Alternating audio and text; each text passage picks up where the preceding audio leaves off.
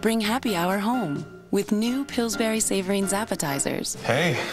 Hey. Warm, flaky, with savory fillings. Do you come here often? I live here. I thought you looked familiar. New Savorings from Pillsbury.